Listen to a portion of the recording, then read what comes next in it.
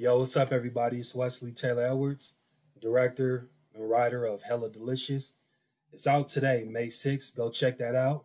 Um, good, goodhoodfilms.com.